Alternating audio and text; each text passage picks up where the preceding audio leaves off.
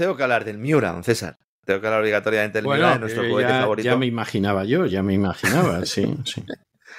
Hito histórico, nos dicen los señores de PLD Space, la compañía propietaria del cohete Miura. Lo lanzaron a la tercera, fue la vencida desde la base del Ar- Arenosillo en Huelva. Comentamos aquí que, eh, bueno, pues el cohete lo habían lanzado y luego al caer, pues no lo encontraban. Parece que saben dónde ha caído ya, pero siguen sin encontrarlo. No se ha roto, pero se ha hundido. El contacto del cohete al caer fue lateral. Esto provocó que uno de los dos tanques principales se rompiera y se llenara de agua y esto causó su hundimiento, lo cual pues es una pena, a pesar de lo cual los señores de Pérez Space están muy contentos, están muy satisfechos. Ha dicho eh, uno de sus dirigentes, hemos aprendido a lanzar cohetes. No, pues yo creo que hay, que aplaudir de aquí que una empresa que se dedica a fabricar cohetes los haya aprendido a lanzar. Desde aquí, evidentemente, les felicitamos.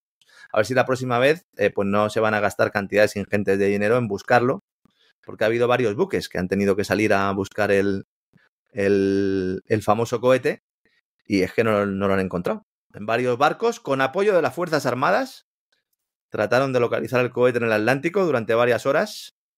Casi se encuentran en la Atlántida ahí, don César, pero no, pero no encontraron ningún resto ni materiales flotantes, por lo que los responsables de la misión dicen que el cohete impactó de forma lateral con el agua y que esto debió provocar que se hundiera. Salvo, Señores. salvo que no hubiera cohete y nos hayan estado engañando, que ya, Bueno, bueno, ya, ya te puedes creer cualquier cosa. espacial no es. Ya. Esto hay que decirlo. Este cohete no sale al espacio.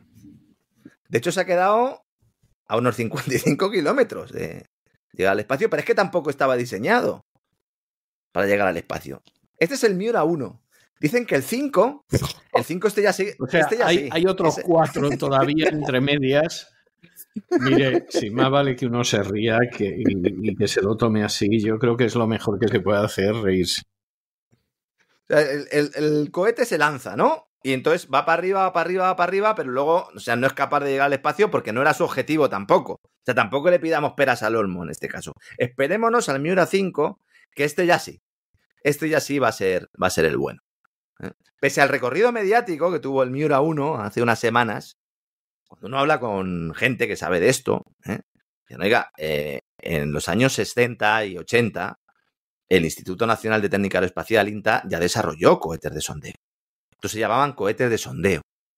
No se les podía considerar cohete espacial, que llegaban hasta los 200 y 300 kilómetros de altura. Este se ha quedado en los 45. Es decir, si ya se podían lanzar y se desarrollaron por parte del Instituto Nacional de Técnica Aeroespacial cohetes en los años 70 y 80 capaces de llegar a una altura muy superior, celebrar esto como se está celebrando me parece una astracanada importante. ¿Cuál es la razón de que haya tanto ruido mediático con esto? Pues que hay dinero público a mansalva. Porque todo esto forma parte del interés no solo de PLD Space, de muchas otras compañías del sector, por intentar trincar algo del dinero público, sobre todo del ambicioso PERTE aeroespacial rodeado de irregularidades, como aquí hemos de, eh, denunciado, y que ha motivado incluso una queja a la Oficina de Lucha contra el Fraude en Europa por considerar que se están dando ahí contratos a dedo. Entonces, cuando se habla de que hay compañías privadas que están iniciando la carrera espacial en España, yo les pido, señores, tápense un poco. Porque si una compañía privada recibe dinero público para realizar sus proyectos, entonces no es privada 100%. Había un reportaje hoy en el diario The Objective de Javier Leal, en el que planteaba cómo el gobierno había presentado un plan estrella dotado con 45 millones de euros para lanzar pequeños satélites al espacio. Un anuncio que sorprendió a todo el mundo porque, claro, oiga, esto solo lo hacen algunas potencias en el mundo. Y entonces de repente nos llega aquí el Miura 1 diciendo, no, no, el Miura 1 no, pero el 5 sí, el 5 sí.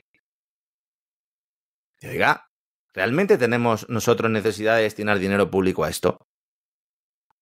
Que seguramente los gestores de las empresas del ámbito aeroespacial estarán muy contentos con que se realice esta apuesta, pero ¿no será mejor cubrir otros agujeros primero? Sí, no, falta no hace ninguna, o sea, sinceramente, ¿para qué nos vamos a engañar? Ninguna. Y si, y si admitimos que hay que gastar ese dinero, hazte un cohete que, que por lo menos orbite, ¿no? Un poco, muchacho. Dice, bueno, es Miura 5. Bueno, pues veremos si finalmente el Miura 5 eh, logra su objetivo. Están muy contentos, como digo, los señores de PLD Space. Dicen que están muy orgullosos de que una empresa de provincias, estos son de Elche, puedan ser un referente tecnológico de la industria espacial privada. No les quito razón, pero evidentemente esto es con, con apoyo del sector público y porque también, pues, eh, por qué no decirlo, hay ciertas conexiones eh, ¿no? con el partido del gobierno que también, pues según sus competidores, bueno, pues han podido motivar algún tipo de entrega de dinero dentro de los cauces legales, evidentemente, porque la Oficina de Lucha contra el Fraude no ha querido abrir ninguna investigación, con lo cual, o bien los señores de la OLAF, que es así como se llama esta institución, no han visto nada extraño, o bien es que realmente no quieren entrar a analizar a dónde está yendo el dinero de ese PERTE. Hay muchas empresas esperando eh, coger lo suyo, su parte del pastel,